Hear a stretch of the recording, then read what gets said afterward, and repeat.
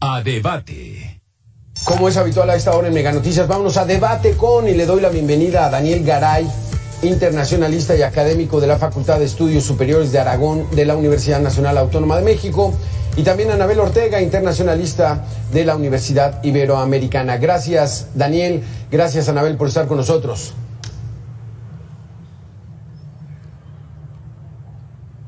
Muchas gracias, Alberto, como, como en otros espacios aquí, eh, con todo el gusto de compartir estas Ah, ah. reflexiones de, este fenómeno. Sí, eh, a- Anabel, comenzamos contigo. Este, vaya situación la que ocurrió en Guerrero. Por primera vez desde que se tiene registros, un huracán categoría 5 impacta las costas. Desafortunadamente lo hizo en una zona urbana donde viven más de 900 mil personas y la devastación fue total. Y eso ha provocado una crisis humanitaria. Pero la que no se termina es la crisis humanitaria que viven los migrantes. Apenas el, hace unos días surgió una caravana, dicen que son 8 mil personas o más. ¿Cómo se está viviendo esto cuando nos acostumbramos ya a, este, a esta situación, nos volvemos insensibles? Eh, Esta gente, ¿cómo vive su paso por México, Anabel? Bueno, eh, no, no, es una crisis humanitaria ya constante, no, no ha parado y me parece que además es global. Ya habíamos comentado aquí en este espacio de los grandes retos que están enfrentando todos los países en general del norte global, así conocido, países desarrollados con estos migrantes. En el caso mexicano y sobre todo por la cercanía, al hacer frontera con Estados Unidos y ser, digamos, el paso de los eh, países latinoamericanos, centroamericanos, ha sido una constante, como bien decían las cápsulas, de décadas. Esto, esto es algo que hemos estado acostumbrados nuestros propios mexicanos. Tenemos pues muchos familia en Estados Unidos. Eh, Esta migración ha sido parte de nuestra historia, pero hoy día definitivamente se le llama crisis migratoria porque sí hay un cambio en la dinámica de la migración. Hay un cambio con otros eh, otras nacionalidades que están llegando. Se habla también de que hay creo que dos mil africanos que hay que ver cómo es que están llegando a México. Eh, Por, supuesto está la gente de Haití, Venezuela, Colombia, todos los que ya teníamos registro, pero hay otros cambios en la dinámica migratoria que están llevando a estos eh, números eh, eh, pues eh, en masa, ¿verdad? Todas estas personas que incluso en las cápsulas decían que entienden que México los debe atender, pero no es tan fácil cuando todos todos los recintos, las, las facilidades que hay, toda la infraestructura, pues no se da abasto para, para pues dar eh, el espacio necesario y proteger obviamente sus derechos humanos. ¿Qué pasa? Yo, eh, desde como lo veo, esto no va a parar, es un fenómeno que definitivamente va a seguir creciendo y que requiere, como bien lo decías, de una solución multinacional. Pero la solución multinacional tiene las reuniones que vemos incluso hoy día, acaba de terminar una, tienen sus propios tiempos. Y lo que debemos es actuar. ¿Y cómo se actúa? Pues con muchos recursos y con alguna política pública que no tiene que ser la anterior. Esto también significa otro desafío, porque las instituciones no pueden crecer en el doble de personal de un día para otro, no pueden capacitar a todas las personas eh, con estos nuevos protocolos o nueva visión de la migración, con otra mirada, si de, de un día para otro. Esto requiere de un, paso y la demanda está ahí. Es, es, Sí. es una crisis verdaderamente muy preocupante. Eh, Es que la demanda es muy fuerte, Daniel Garay. O sea, todas las personas que salen expulsadas de sus países de origen lo que quieren es vivir en los Estados Unidos, ganar en dólares, mandar dinero a sus familias que se quedaron en sus países. Y México no puede poner una política de, pues pásenle por México y les darle las facilidades, porque Estados Unidos presiona y dice, a mí no me los mandes, es que no son mexicanos, no importa, no me los mandes. México está entre la espalda, eh, eh, entre la espada y la pared. Así es, muchísimas gracias por la invitación, un saludo a toda la audiencia y es un gusto estar nuevamente aquí compartiendo estos espacios. Sí, efectivamente, estas personas pues buscan mejorar su calidad de vida y sobre todo está en este flujo migratorio, pero también estamos observando algunas personas que ven amenazada, ¿no? También su propia existencia. Estamos hablando que se están mezclando estos fenómenos de la migración de quienes buscan esta mejora, pero también están quienes vienen huyendo de sus países por alguna situación violenta. Y, estos no, no, están recibiendo un trato diferenciado con respecto al tema migratorio. Entonces estamos viendo el tema de los refugiados, el tema de los migrantes, y entonces, pues, ¿quién coordina estas políticas? ¿Quién atiende? Está la, el Instituto Nacional de Migración, está la COMA en el caso de los refugiados.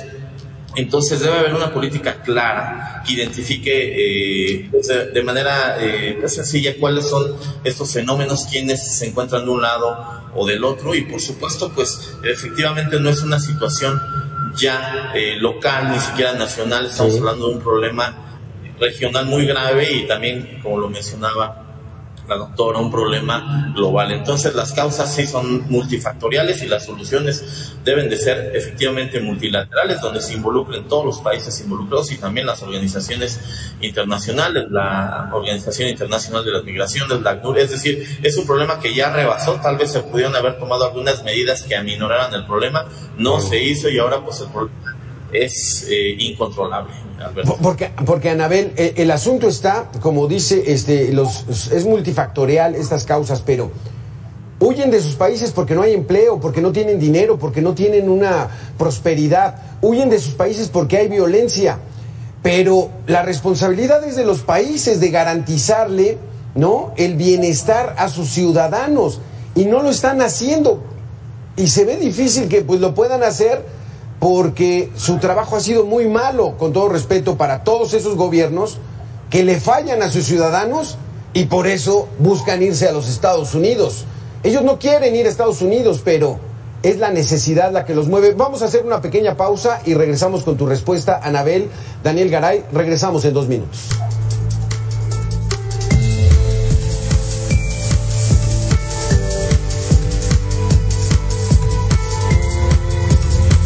Gracias, Daniel. Gracias, Anabel. Regresamos con tu respuesta, Anabel. Aquí eh, el asunto está de que parece que Estados Unidos es el responsable de que no se actúe bien en Latinoamérica, como si fueran los dueños, los Estados Unidos. Y eso lo digo, parece, no sé si sea cierto o no. Pero entonces, estos países son los que están fallando en economía, con su sociedad, con la seguridad. Y por eso estas personas se quieren ir a Estados Unidos. No les gusta la cultura norteamericana, no hablan el idioma, pero se sienten seguros de que van a ganar dinero y que lo van a devolver a sus familias. Aquí, ¿quién está fallando? Estos países. ¿Cómo controlarlos? ¿Cómo hacer que generen prosperidad para que sus ciudadanos no se salgan? Así es, lo hemos visto en las últimas décadas. Esto es una crisis sistémica. Desde luego también ya hay una, un lugar común, el decir que Estados Unidos tendría que resolver los problemas estructurales de cada nación y, la verdad es que me parece que muy poco han hecho aquellas, aquellas naciones, incluida México, eh, eh, expulsores de, estos de estos migrantes. Eh, como hemos y bien lo comentó aquí mi colega Daniel, es no solo es el buscar una mejor calidad de vida, es que hay mucho riesgo también de su seguridad, su integridad física y también no olvidemos que otros están siendo desplazados por desastres naturales. ¿Qué significa? Que esto ya, ya es como un, un, un, problema que no tiene una solución de corto plazo, va a ser de mediano plazo. Y es cierto, México queda en el peor de los lugares ahora. ¿Qué medidas podrían ser corresponsables de todos estos países que tienen que ver con no ofrecer las garantías necesarias de, seguridad alimentaria, educación, eh, salud eh, y, por supuesto física? Eh, pues tener otro tipo de medidas para aquellos países que puedan hacer compromisos mucho más concretos y en el corto plazo. Esto va a desincentivar quizá un poco, pero no va a parar estos volúmenes. Esto desafortunadamente eh, se veía ya desde inicios de este siglo XXI, que si no se tenían medidas eh, importantes a nivel económico y de bienestar en muchas poblaciones del mundo, y obviamente que la región que nos ocupa ahora es Latinoamérica y Centroamérica, estas migraciones iban a suceder. Y estábamos hablando que hacia el 2030 íbamos a tener todavía más problemas Incluso se hablaba en esos en esas épocas de alguna sociedad a nivel mundial de 80-20, el 80% de pobres y 20% de ricos. Esto también hay una una cuestión del, desde la globalidad, desde el, desde el los, los medios capitalistas que tendrían que ver con algunas medidas que en su momento no fueron tomadas, como protección del medio ambiente, como generar espacios de, de empleo y desarrollo en conjunto también con eh, naciones receptores de inversión, etcétera, que pues, no nos hubieran llevado a esta situación. Ahora, ¿qué podríamos hacer en el inmediato? Porque justamente, o sea, explicaciones hay muchas, dinámicas también que están cambiando. La, la, el problema no solo que, que, es, que ya estén los migrantes aquí, sino que las eh, pues eh, eh, estos grupos delictivos de todo tipo, no solo de, de, de, drogas, sino de, de todo la trata de personas, el, el, el estos de, pornografía infantil, etcétera, están siendo pues eh, muy beneficiados de tener todo este desorden que les permite actuar sin ninguna consecuencia y vemos también la cantidad de personas que han desaparecido en su paso por México y por otras naciones también no lo tenemos tan registrado. Estamos analizando siempre cifras que son quizá las que más tenemos al alcance en México, pero de todo este trayecto en donde no hay seguridad para ellos, ¿qué podríamos hacer? Pues eso, hay, el diálogo es fundamental. Estuvo esta reunión hace dos semanas en Palenque, la reunión de en Washington, en donde se deben establecer compromisos inmediatos y reconocimiento del fenómeno. Debía haber pues eh, algún corredores humanitarios en donde se sepa que los migrantes, esos sí, migrantes que están que están siendo, que están solicitando asilo y todo, porque como bien dijo eh, eh, mi colega Daniel, son diferentes tipos de migrantes. Tendríamos que tener este tipo de corredores y eso significa muchos recursos. Los Estados Unidos han dicho, y es cierto, se ha invertido una serie de, de, dinero en temas, incluso ellos mismos en su administración, de mayor personal calificado para revisar las solicitudes, para las cuestiones de, de las entradas migratorias, incluso también de sus guardias. Todo esto son recursos y no alivian el problema. Esos recursos me parece que deben estar más en la gestión que en la securitización. Sí, porque aquí hoy se llevó a cabo en Washington la primera cumbre de la Alianza para la Prosperidad Económica de las Américas, APEP, ¿no? Por sus siglas en inglés. Los Estados Unidos, Daniel, ofrecen una solución, digamos, cándida que prosperen los países de Latinoamérica, mejorar las clases medias de esos países para que la gente no tenga la necesidad, porque es una necesidad de salir, pero ¿no es demasiado ingenuo, Daniel? Sí, eh, en esta reunión de, la PEP justamente estamos observando cómo Estados Unidos está brindando ciertos apoyos a través del Banco Interamericano de Desarrollo, el BID, eh, en estos países que tienen estos problemas eh, migratorios están otorgando algunos créditos. Sin embargo, bueno, pues no es el único tema de la agenda eh, de la PEP el día de hoy, el tema de la migración. Hay otros temas más. No está ocupando este tema de manera central en este diálogo del presidente Biden con estas naciones latinoamericanas, que México va representado por, por nuestra propia canciller. Es decir, el tema no se está tratando ¿no? de manera central justamente en este tipo de reuniones y bueno, pues el, mismo Estados Unidos está viendo desbordados, estamos viendo las solicitudes que hacen los alcaldes, incluso demócratas contra el propio presidente Biden en una crítica muy importante y, lamentablemente este tema va a quedar enmarcado en los procesos electorales tanto de México como de Estados Unidos y pues esto va a dificultar que exista una solución clara a la problemática, ¿no? Ya, ya con este tema ahí en medio justamente pues va a ser difícil que se plantean soluciones claras, a pesar de que se está dando el diálogo, la cooperación no se está redundando en acciones concretas. Eh, estamos observando un poco más discursos eh, de buena voluntad, pero creo que no hay una voluntad política clara ni el establecimiento de políticas públicas, no solamente a corto, sino a mediano y a largo plazo para que se pueda resolver este problema. Entonces, eh, lamentablemente este tema electoral va a afectar definitivamente y va a aplazar mucho más la solución del problema que estamos observando, Alberto. Sí, porque en esta reunión la convocó el presidente Joe Biden de los Estados Unidos allá en Washington, invitó a Justin Trudeau de Canadá y, y fueron invitados 12 presidentes o o mandatarios de Latinoamérica. México no fue su presidente. ¿Eso qué significa, Anabel? Este, todos fueron los presidentes, los primeros ministros, y México mandó a su canciller. ¿No le da importancia al tema? Vamos a hacer una pequeña pausa y regresamos con, con este tema, Dani este, Anabel, en dos minutos.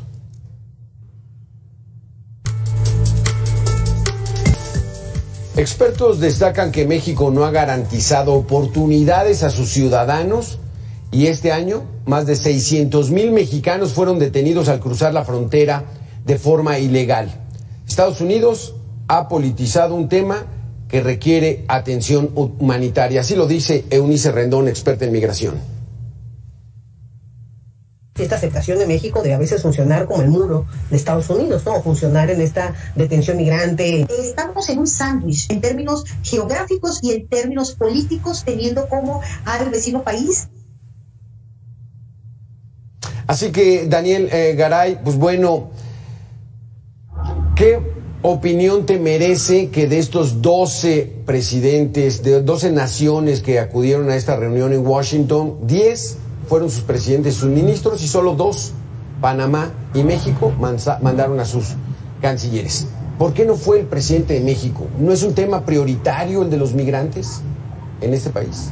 Sí, me, parece un error de cálculo el que comete el presidente y justo porque recientemente había pues convocado esta reunión en Palenque con presidentes mandatarios centroamericanos y del Caribe y en donde pues trataba de encabezar este esfuerzo eh, para pues contener su problema migratorio y justamente de esta reunión también se desprendía que pues faltaba la presencia de Estados Unidos. Cuando se tiene la oportunidad en esta ocasión en la reunión de la PEP, en donde la migración sí es parte de los temas de la agenda, pues justamente era el momento eh, idóneo para poder tratar esta cuestión tan importante, tan sensible, ya de frente con el presidente Biden, y justo el problema que también enfrenta, eh, pues con esta situación del lado de, su propia frontera, pues era una oportunidad invaluable para que el presidente de México se presentara y pudiera platicar, ¿no? Gestionar de manera mucho más eficiente teniendo al presidente Biden, ¿no? Del otro lado para que pudiera arreglarse esta situación. Entonces, sin duda, pues es lamentable la ausencia de nuestro presidente porque pues se demuestra justamente que eh, no se tiene, digamos, esa sensibilidad para resolver un problema que está afectando eh, pues tan crudamente a, nuestro país, ¿no? Las, ya no solamente son las ciudades fronterizas, ya son prácticamente todas las ciudades del país las que se están viendo rebasadas por eh, la presencia de, migrantes y la afectación en todos términos, ¿no? Económicos, sociales, seguridad, salud etcétera. Entonces sí, definitivamente se perdió una oportunidad para poder pues tratar esta problemática. Anabel, ¿qué opinas tú al respecto? Estaba el presidente Boric, el presidente Petro, el presidente Lacalle, no estaba el presidente de México. Yo eh, no lo veo como una gran oportunidad tampoco, como el diálogo permanente que tiene México en este tema con Estados Unidos. Claro que siempre una cumbre es una oportunidad de diálogo, pero si no hay eh, acciones concretas, y esto tiene un antecedente, para el caso mexicano, a diferencia de otros países que se reúnen hoy en Washington, hay un antecedente. la reunión que estuvo aquí el presidente Biden en Palacio Nacional fue muy contundente la propuesta del presidente López Obrador respecto a la importancia de ver este tema en términos de que mucho podría hacer Estados Unidos para aliviar el problema latinoamericano de migración y tal. Y el presidente Biden eh, fue además pública esta reunión, fue contundente diciendo que sus intereses estaban en otra región y que de México y la, y la región le interesaba controlar el fentanilo. Si hay antecedentes de estos diálogos que no han llegado a buen puerto, digamos, en acciones concretas. Ahora, que hay otra reunión próxima también, está la reunión de la PEC, entonces seguramente habrá otro tipo de diálogos y también el que se tuvo en Palenque. Hay una parte que parece no clara y que yo no tengo mayor información, pero que me parece importante resaltar, es que la idea de la reunión de Palenque es, era construir una propuesta concreta con, con aquellos incluso mandatarios con los que Estados Unidos no tiene diálogo para presentarla ante Estados Unidos. Es decir, era muy difícil que en una reunión de Palenque pudieran estar de acuerdo los norteamericanos de tener relación con los presidentes tanto de Cuba como de Venezuela. Eh, me parece que son momentos distintos en, tema, en términos de diplomacia multilateral, por eso hago estas anotaciones. Insisto, siempre es una buena oportunidad. Esperemos que en las siguientes sesiones que sea que estos tipos, estos mandatarios que me parece que fueron siete de doce o por ahí, que puedan haber también eh, en la agenda aceptarte el tema migratorio. Lo interesante de los temas migratorios y la relación bilateral con los Estados Unidos debe ser una reunión en especial. Esto eh, se ha manejado durante muchos años, pero hay algo muy importante. Cuando se mezclan otro tipo de temas, como puede ser el comercial, el, el de seguridad o el de eh, el narcotráfico, ya se habla, por supuesto, como muchos temas a la vez. Entonces, sí sería muy, muy importante tener una cumbre, ahí sí cumbre, quizá liderada por Estados Unidos, con todas las voces y todos aquellos países que tienen conflicto para exclusivamente el tema migratorio y acciones inmediatas a tomar. Y desde luego con la presencia, desde mi punto de vista, de eh, las organizaciones internacionales, es decir, de la Organización Internacional de Migración, de ACNUR, que pueden y, tienen todos los elementos necesarios para presentar alternativas de solución, la Comisión Interamericana de Derechos Humanos, etcétera, para poderlo ver en todas sus aristas, porque en, en términos de estos encuentros muy productivos siempre, por supuesto, con varios temas en agenda, no es necesariamente lo mismo. Sí, porque dice la propia ACNUR que en este año 21 millones de personas han sido desplazadas o buscan refugio en otro país que no sea el suyo, este Daniel Garay. Y entre y como dices, eh, eh, la migración es uno de los temas en esta reunión de APEP, pero el discurso inicial de Joe Biden fue vamos a tratar de lograr prosperidad en los países y fortalecer las clases medias. Lo hacen a través de situación económica y les pone al Banco Interamericano de Desarrollo y dice, pues bueno, si necesitan dinero, aquí está. O sea, son préstamos, son endeudamientos. O sea, los países latinoamericanos van ahora sí a trabajar a su interior para lograr la prosperidad de sus ciudadanos. Sí, efectivamente lo comenté hace unos segmentos. Eh, este apoyo que está ofreciendo Estados Unidos es a través del BID. Eh, y bueno, pues son efectivamente créditos, ¿no? Que son créditos. Un, endeudamiento probablemente con algunos intereses favorables, pero finalmente pues se convierte en deuda y pues los, las naciones latinoamericanas pues eh, en ese momento no necesitan eh, o no es la solución digamos eh, inmediata para la resolución de ese problema. Se requieren medidas pues mucho más profundas eh, medidas pues eh, integrales que puedan incluir todos estos factores que nosotros hemos mencionado y que no necesariamente pues tendrían una salida adecuada eh, con una situación en donde el BID pues esté dando estos créditos, ¿no? Entonces, parece que no es por aquí, por supuesto, la, la respuesta. Estamos hablando efectivamente de que la situación ha rebasado en todos los sentidos esta problemática y que implica pues estos esfuerzos en donde efectivamente las propias organizaciones internacionales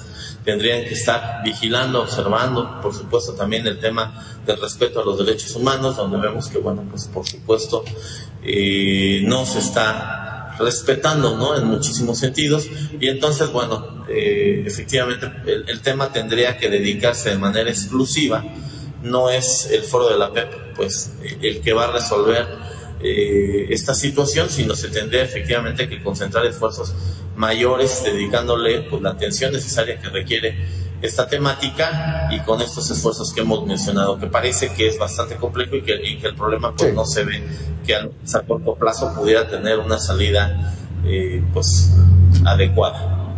Porque en las imágenes vemos eh, ciudadanos extranjeros en nuestro país que quieren cruzar por México para llegar a Estados Unidos pero se ha incrementado también el éxodo de mexicanos, Anabel, que también ya se están yendo a Estados Unidos, principalmente por la violencia que hay en sus regiones.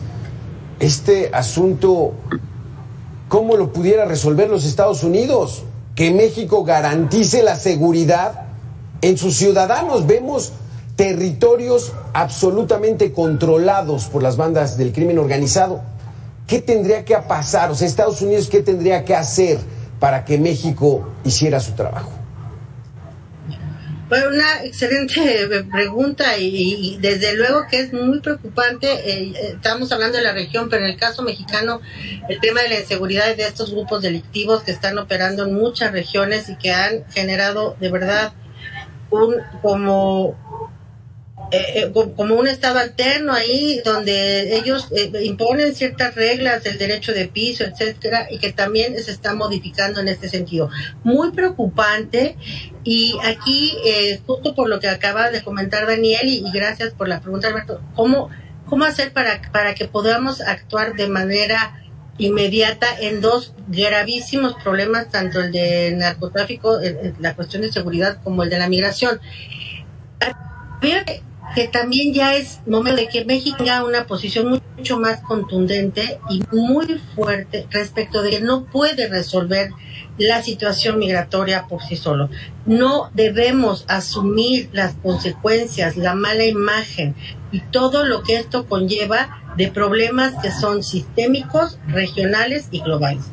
A mí me parece que sí debíamos poner el punto sobre las sillas y decir México hace lo que humanamente puede, es un, es un pueblo muy solidario, muy humanitario, pero que no se está dando abasto y que se tenga muy claro en el mundo. Hacemos lo mejor que podemos y que para eso se requiere otro tipo incluso de recursos económicos, por un lado. Y por el tema del narcotráfico, así como han dicho algunos senadores que van a, van a denominar a los grupos delictivos terroristas o no, me parece que tendríamos que insistir también en una posición mucho más contundente respecto de lo que México está también tratando de hacer con pocos resultados y además el, país consumidor y de drogas y exportador de armamento de alto nivel, pues es Estados Unidos. Entonces, no es, eh, me parece que hemos sido incluso bastante tibios en posicionar en la cuestión geográfica de México, en donde debemos tener mucha claridad y todo el mundo, porque no hay país y eso, a, las pruebas hay que verlo.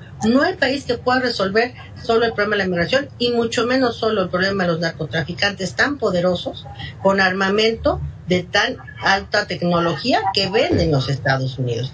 Eso es muy complicado y sí, me parece que la relación bilateral debería estar en el centro de este grave problema en, en dos, en, dos frentes, ¿no? Para, para México. Exactamente, pues como bien lo dices, un tema muy complicado Daniel Garay, Anabel Ortega, pues vamos a esperar qué transcurre en estos próximos meses en el tema migratorio, una crisis, una crisis humanitaria que estamos viviendo en nuestro país. Gracias a los dos por haber estado aquí en Mega Noticias. Nosotros vamos a hacer una pequeña pausa de dos minutos y regresamos. Gracias. Como siempre, gracias.